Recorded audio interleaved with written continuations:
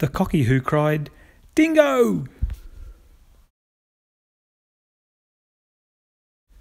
By Yvonne Morrison and Heath McKenzie.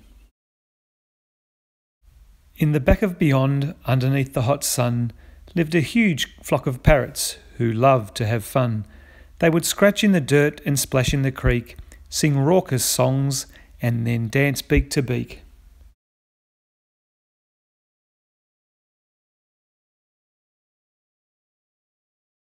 There were bright lorikeets and rosy corellas, gorgeous galahs, and vivid rosellas. And perched in the gum tree that had the best view was a handsome and arrogant young cockatoo.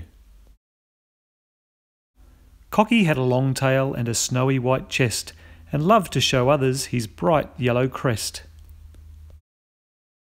But he liked to be cheeky and play naughty tricks. Yep, acting the joker sure gave him his kicks.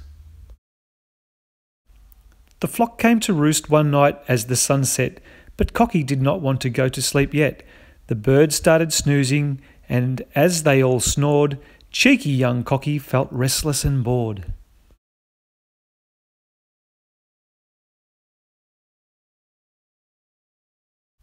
So he plotted and planned and came up with a scheme, and the sly cunning plan made his beady eyes gleam.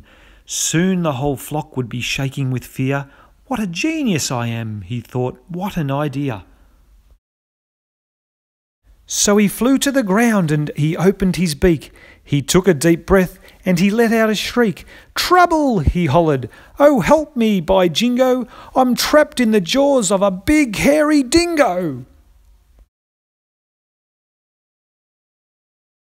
He fluttered his wings, he squawked and he cried, till the birds were all woken, alarmed and wide eyed.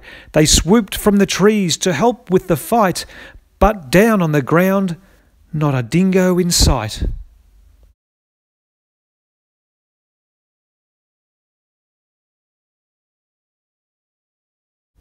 Cocky hooted and laughed and bobbed up and down until Gary Galah declared with a frown, You silly young cocky, don't wake us with cries when all you are screaming is nothing but lies.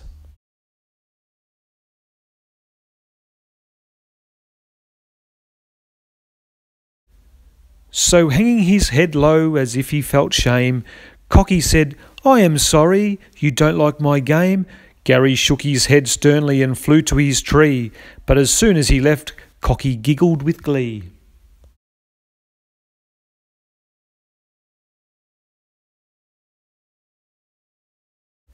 Then again, the next night, Cocky opened his beak. He took a deep breath and he let out a shriek. Trouble! he shouted. Oh, help me, by jingo! I'm trapped in the jaws of a big hairy dingo.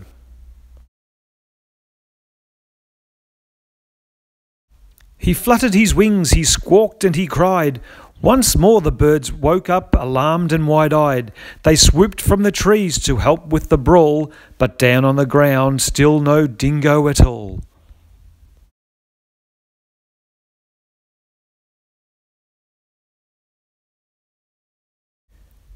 Cocky bobbed up and down, hooting and howling, till Lizzie the lorry confronted him scowling. You silly young cocky, it's not even true. How dare you wake us with that hullabaloo?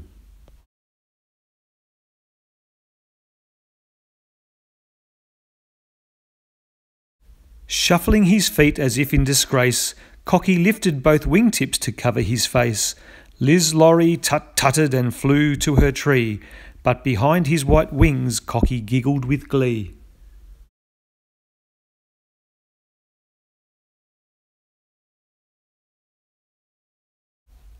Once again the next night Cocky opened his beak. He took a deep breath, but before he could shriek, a shadow fell over him dark as the night, and Cocky peeked over his shoulder in fright.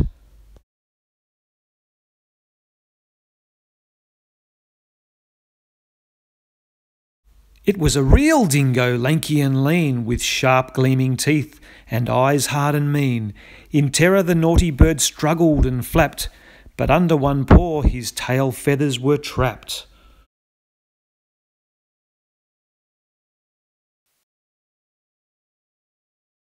Trouble, he cried out. Oh, help me, by jingo! I'm trapped in the jaws of a fair income dingo.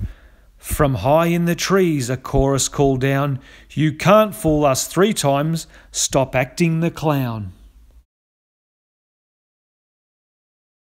But it's true, Cocky screeched, I really am pinned.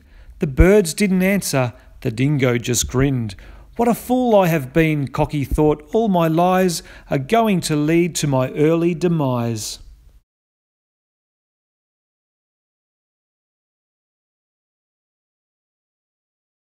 The dingo growled softly and spread his jaws wide, and Cocky howled out, I'm so sorry I lied. If I can escape, then I'll try to be good. And he pulled and he struggled as hard as he could.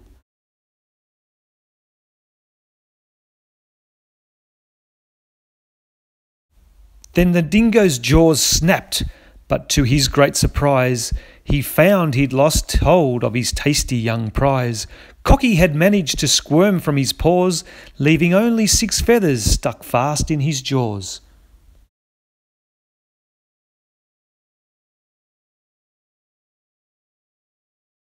And Cocky, now safely perched high in his tree, found his bright yellow crest snipped as short as could be.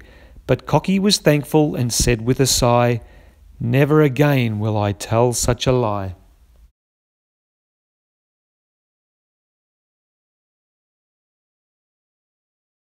So from that day the young bird understood he'd have many more friends if he learned to be good. And though he's still playful and likes to have fun, his days of mean tricks are now over and done.